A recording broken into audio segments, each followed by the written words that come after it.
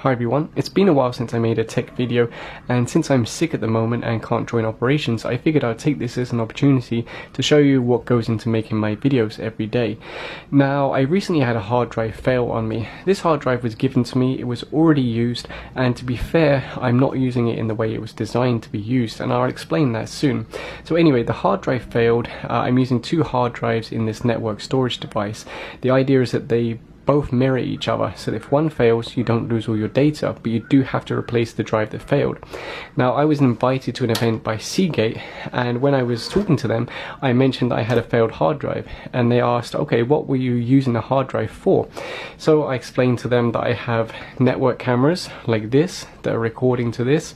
Uh, this is from Hikvision, this is my favorite brand of network cameras, security cameras. I highly recommend this brand. Uh, this specific one has Wi-Fi, has a microphone, has infrared for night vision. It also has a PIR sensor, which can be a little bit more accurate than using uh, like software-based movement detection. Uh, so this is really my favorite camera. It connects to your wireless network, or you can plug in a network cable and it records to your network storage, or you can record to an SD card, micro SD card. So I told them I'm using security cameras that record to this. I told them I'm also monitoring public cameras, uh, having them recorded to this so that I can do like statistical analysis, like traffic and stuff like that. It's just something I'm playing with. Um, so I've got all of these data being written to the drives constantly, and this is running 24/7. Now this hard drive here is designed for desktop use, which means typically around eight hours a day, and you're doing reading and writing. It's not designed for a constant writing of so much data 24 hours a day. So not only was this a used drive, but I was abusing it because it's really not designed for that. So they said what you really need is something like the Skyhawk drive. They actually gave this to me. Imagine that six terabyte hard drive. They gave this to me.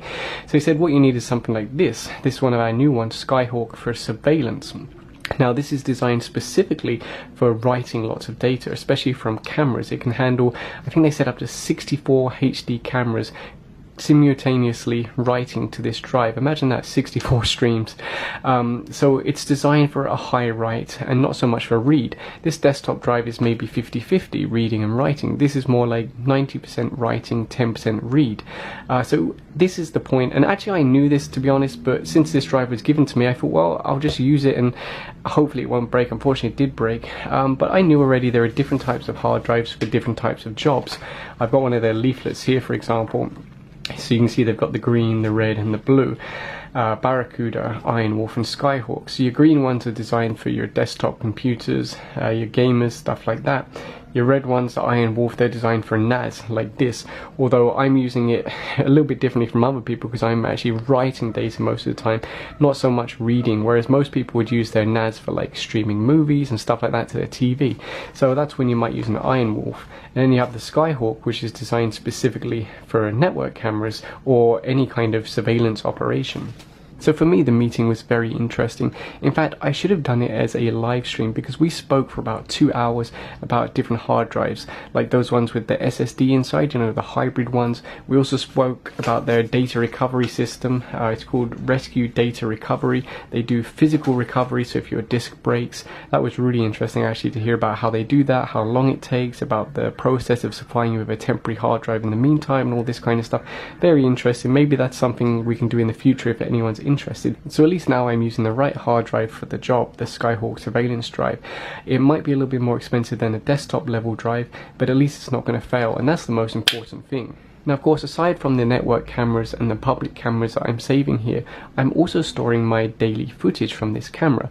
So what camera am I using? This is the Canon G7X. Let me take it out of this little case here to get a better look at it. Cam Canon G7X.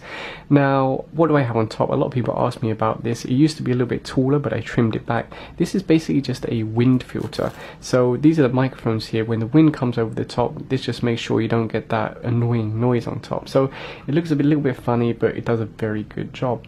Um, as for the camera itself, it's very, very high quality. It's very small. Also, you can see that. Some people ask, why don't you use a bigger camera, DSLR? You can get better footage.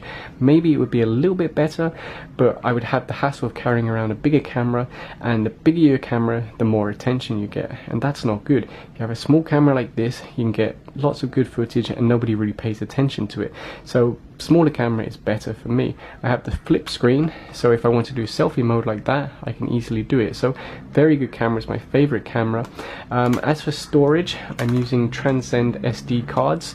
I used to use SanDisk, but honestly I got so tired of my SanDisk cards. They all broke, they all became corrupted, they all became unusable within like a year. Yes, there's a warranty service, but it's not very easy in my experience to get them replaced. So nowadays I'm using Transcend like these. They're just 64 gig. There are bigger cards available now, but these work for me, so why buy more? Um, as for the batteries, of course, I carry around spare batteries. I have the genuine Canon batteries. I have two of those. I also have generics like this, two of these. Uh, the generics don't last as long and they don't correctly report how much battery is remaining. So you could be recording something, it says full battery, then all of a sudden it cuts out. And if it cuts out during a recording, you could lose the footage. So it's a little bit dangerous using these generic batteries, but you know, these batteries are so, so expensive, they're genuine ones. So the first thing I would do when I get home is take out the memory card, connect it to my network storage, copy over the footage, and that could be anywhere from 15 to 20 gigabytes a day, so quite a lot of storage. Now in many of my videos you would have seen this microphone here that I'm holding near other people while they talk. So the camera is here, I stretch my arm out, hold the microphone close to them, the closer the microphone the better the audio. Um, the microphone on the camera isn't amazing, it's okay if you're talking very close, like if I'm holding it like this and my mouth's here and I'm talking, very good quality but as you get further away, very bad quality. Now I can't remember the exact model number of this, but I'll overlay it on the video. Now there are good things and bad things about this. The good thing is it has a built-in battery, recharges by USB. So when I get home, I can plug it in, it recharges, and it's super quick to recharge. So even if I forgot to recharge it, I can connect it to a power bank for like 10 minutes on the way to wherever I'm going, and then it's going to be good for hours and hours. So very quick charging, very good battery life built-in storage. I think on my settings it can record about 40 hours of audio just using the built-in uh, storage so that's pretty good. It also takes a micro SD card if you want to expand it. Screen is very nice also let me turn that on so this is the screen, you can see it's very clear, the options are very simple to navigate, very easy to use. Now I said there are good things and bad things about this. Well ultimately it's the audio quality. I also had a Zoom H1 audio recorder and the quality on that was amazing, the voice was amazing. On this it's okay, it's good enough. Um, considering the price of this, I think the audio quality should be better. It might be because microphones are so small, I don't know the specifics, but it's not quite as good as I hoped, but considering how small it is, how convenient it is, how fast it charges, the really nice screen and everything like that, I'm happy with it. Would I like the audio quality to be better? Yes, but it's good enough. Now some of you might be thinking, well, if you have a camera and you have a microphone, how do they connect? Well, no, there's no Wi-Fi, there's no Bluetooth, there's nothing like that. They're completely independent, which means later you have to join them together in software. Now, that is most of the time very easy. You just drop your sound file, you drop your video file, and the software automatically joins them together. But sometimes, this rarely happens, but sometimes when you try to join them together, it just doesn't work. And then you have to spend lots of time trying to cut them together, and you could spend hours doing that. So it's not perfect, but most of the time it works and it's not too difficult. Now for video editing I use a MacBook Air from 2013. It's a little bit old but it still works very well. You can see it's got a few dents here and here and up here and even on the bottom it's got a few. Some of these were me, some of them were other people. Uh, actually I'm amazed that the glass hasn't broken because if you look here you can see that this one's pretty heavy dink there. And over here the same it's got a pretty big notch smashed into it. Um, I try to look after it but you know if you're using a laptop every day and you're doing so much work on it of course it's going to get a few dings here and there. Now before I open my editing video let's make a little video. So press record on the camera record on the microphone and then move it around. Test test test test test test. I'll move the microphone closer to my mouth. Test test test test test test. So in that point you should see that it's louder when it's closer to my mouth. Now it's further away it'll be quieter. So let's stop the recording on the camera, stop the recording on the microphone and connect them to the computer. So here's my editing software, Final Cut Pro. You can see that I've got the memory card plugged into the computer. I edit directly from the memory card because I don't have enough storage on the computer itself. I'm using a Bluetooth speaker because my laptop speakers are broken. So here's our two files. This one is from the camera, this one is from the external Sony microphone. We select both of them, right click, synchronize, press OK, it does some magic to work out how to join them together. Um, because if you did that manually, it would be very difficult to get the timing right. So we put that on our timeline, expand audio component, zoom in, and you can see we've got two different waveforms for the audio. One is from the camera, one is from the microphone. So let's start with this bit here. If I mute the external microphone and we just listen to the camera, listen to this. From closer to my mouth, test, test, test, test, test, test. So in that Okay, now we'll go back and we'll bring in the external microphone and we'll mute the camera. I'll move the microphone closer to my mouth. Test, test, test, test, test, test. And as you heard there, because this microphone was close to my mouth, it was much louder. So you can adjust those two channels. Um, so typically it would be my voice on the camera and then someone else's voice on this. Um, so that's the basic idea of how I put together the audio. But one thing people often ask me is how do you blur the faces? So let me set up an example. So this guy here is a cameraman for GMA. Let's imagine that I wanted to blur him. Let's pretend that he'd actually been caught riding a motorcycle without a helmet or something like that, and we wanted to blur his face.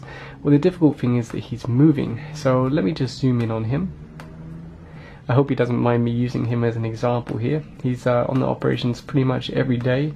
So the first thing we do is carry over a censor effect. Then we're going to resize it just to cover his face, and instead of pixelated, we want it to be blurred.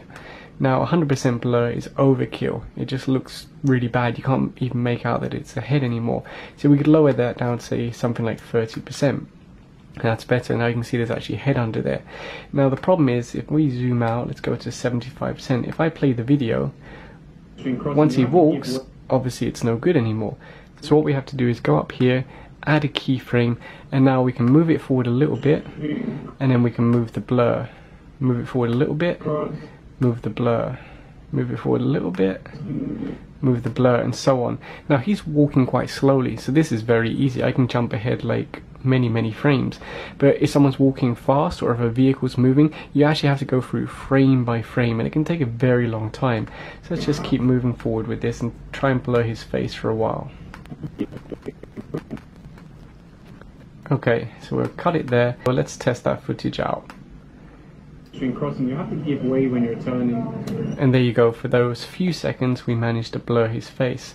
Now that's just a few seconds and it's just one person that's moving slowly.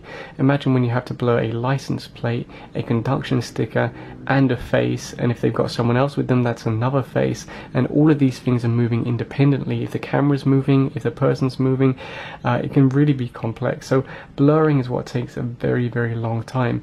Now there are plugins where you can select a certain object or a color or something like that and it will track it around, but they're just not very accurate in my experience. I've tried various different ones, paid ones, free ones, trials.